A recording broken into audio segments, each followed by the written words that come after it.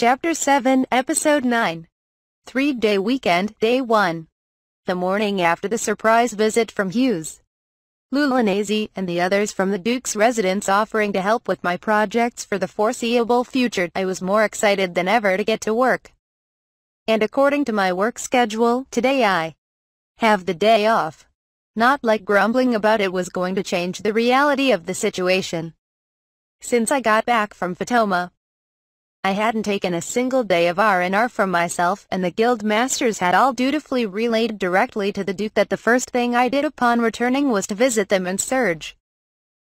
And so, an offer I quite literally couldn't refuse was thrust upon me. All my work would be delegated to the newly hired and very capable help for the next three days. It was like they'd put me on reverse house arrest, except the house in this case was my shop. At the very least, I had to put my foot down at their offer to cook all of my meals and basically wait on me the whole time. Whatever. Basically, you get the picture. No work for three days straight, lest I become a dull boy. I'd made plans for myself for the last day of this impromptu vacation, but today and tomorrow, my schedule was wide open. Which meant there was only one logical thing to do all day. Slime experimentation. I'd barely had any time to do that lately, and I'd been wanting to properly catalog the slimes I had, which were still actively evolving from the feed I'd acquired in Fatoma. Plus, there were some things I wanted to try out with the acidic cleaner.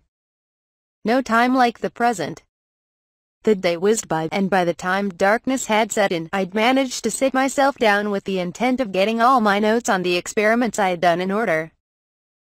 Firstly, I made a simple table cataloging my slimes, what they ate, and what they'd evolve into. Something like this.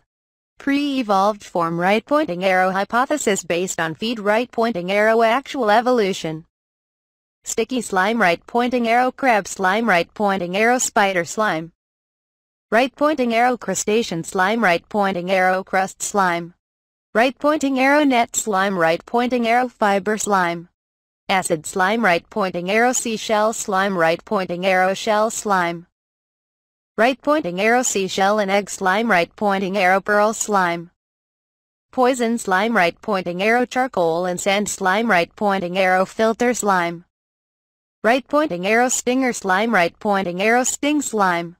Metal slime right pointing arrow net slime right pointing arrow wire slime. Bloody slime right pointing arrow parasite slime right pointing arrow TBD. Stone slime right pointing arrow sandy slime right pointing arrow sand slime. Right pointing arrow porcelain slime right pointing arrow TBD. Weed slime right pointing arrow watergrass slime right pointing arrow aquatic weed slime. Right pointing arrow duckweed slime right pointing arrow algae slime. Next, I wrote down my observations on the newest slime evolutions. Starting from the top I had three sticky slime evolutions. Spider slime. Appearance. Similar to sticky slime, but smaller. Skills. No skills lost from evolution, new skills nesting and trapper acquired. Note. The spider slime began constructing webs on the walls of the mines and uses its silk to move through the air like a spider. Its silk seems to have different properties from that of a sticky slime. I conducted an experiment by asking both a sticky slime and spider slime to weave the most durable silk it could, wrapping my arms between them and tearing them apart. As a result, I discovered that the spider slime silk was more elastic and seemed more durable based only on personal experience. Even on Earth, spider silk was viewed as a fabric with highly efficient structure and properties. Sticky slime silk is already durable so the spider slime silk may have a structural advantage. Plan to ask a specialist about its utility as materials. This also might be a smaller specimen. I will calculate their average size once I have more of this evolution. Crust slime. Appearance. Identical to sticky slime. Skills. No skills lost from evolution, new skill molting acquired. Note. Molting is a skill where the slime hardens its secretions. A hardened surface layer does not impede their movement, it seems to be strictly an upgrade to their defensive capabilities. Upon appraisal, I found their hardened secretions had almost the same properties as the hardening solution I created. Checks out since my hardening solution came from sticky slimes. Upon command the crust slime could spread the same secretion on a flat surface to produce the same results as the hardening solution. With the crust slime, I can now use the hardening solution without alchemy. However, the crust slime seems very similar to the sticky slime in nature. The same can be said of the spider slime. They seem to be evolutions that maintain the original slime's characteristics, enhancing them with the nature of another creature. Fiber slime. Appearance. Identical to sticky slime. Skills. No skills lost from evolution, new skill fiber fee acquired. Note. By giving it shavings from a fluff slime, I can create slime rayon. Maybe I can turn other things into fiber? E.g., giving it metal or glass to create wire or fiberglass. Should look more into this. Then, I noted the two that evolved from acid slimes. Shell slime. Appearance. Conceals itself in a turban shell, rather like a hermit crab. Skills. No skills lost from evolution, harsh acid production skill changed to gentle acid production, and new skill shell production acquired. Note. This may be the most surprising evolution yet. For one, its appearance drastically changed. I looked into the gentle acid and it turned out to be a highly dense succinic acid with plenty of the umami found in many shellfish. While it can't be consumed as is, I'm able to adjust its composition to turn it into sodium succinate and use it as seasoning. The ersatz Worcestershire sauce I made with it for a late lunch turned out good. Pearl slime. Appearance. Milky white with a unique sheen. Rather like a giant pearl. Skills. Perhaps it derived from its shift from the gelatinous form of an acid slime to a more metallic one, it has a drastically different skill set from an acid slime. Skills of particular note are protective mucus secretion, cover-up, and crystallize. Note. Its skills allow me to create pearls, a precious commodity in this world. This slime's like a license to print money. While it isn't dangerous in and of itself, it needs to be handled with caution. And two more from the poison slime. Filter slime. Appearance. Dry and blackened overall. With refracting speckles here and there, it looks like a clump of black sand. Skills Changing form from a gelatinous one to a dry, nearly solid one seemed to result in the loss of most poison slime skills. However, the remaining poison resistance is reinforced and it acquired one new skill, filtration. Note. From my experiments, it seems this slime can filter poison and build up from liquids and gases that pass through them also confirmed that the filtration skill can be used to help compound medicine and serve as a water purifier. Plenty of potential for medical applications like using it as a gas mask or combining it with a bloody slime. Dialysis perhaps? Sting slime. Appearance. More pronounced purple hue, obscuring its core.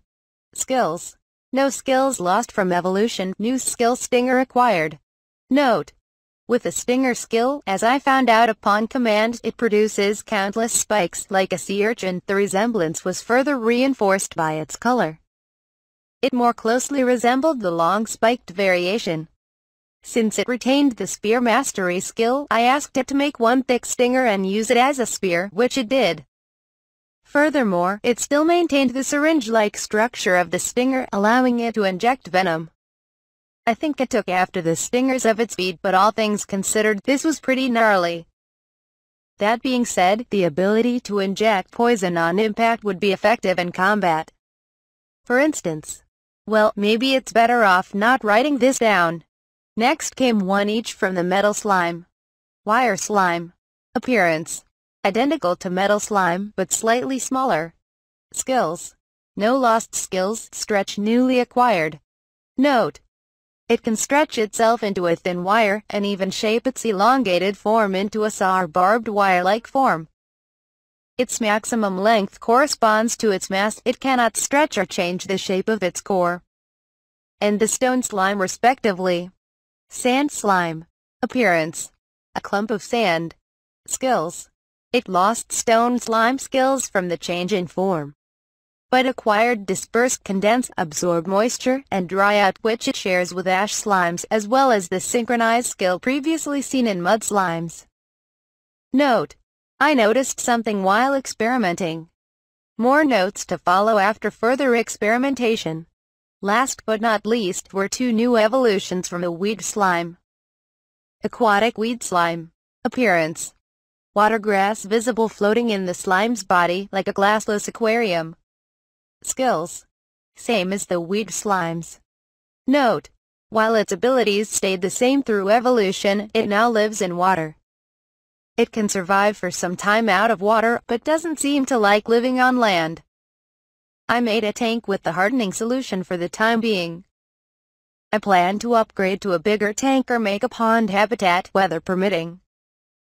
Feeding them was easy, since they grew and ate their own water grass or got their nutrients from photosynthesis just as the weed slimes do. Their ease of care and their aquarium-like curb appeal makes this a good candidate as a first recommendation when converting people to the way of the slime. Algae slime. Appearance. A lump of green algae. Skills. Same as weed slime. Note. They live in water, like the aquatic weed slime. It grows and eats its own algae, and also utilizes photosynthesis. I took a small portion of the algae that covers their body and appraised it to find that it was packed with various nutrients. A type of moss called euglena, for example, was being studied on Earth for its potential application in supplements and health foods. Maybe I can use the algae slimes in a similar manner. I plan to build a dedicated tank or pond for them so they can produce enough algae for me to experiment on. That seemed like a good summary of the day. To be honest, there were plenty more experiments I wanted to run and I could have kept going. If they were to find out that I was working with slimes through the night though, I feared that they would force one of the maids to stay with me all day. Maybe I was actually learning a bit of self-control? Nah. It was still a bit early, so I decided to prepare for the days ahead. Eventually, night fell and I called it for today.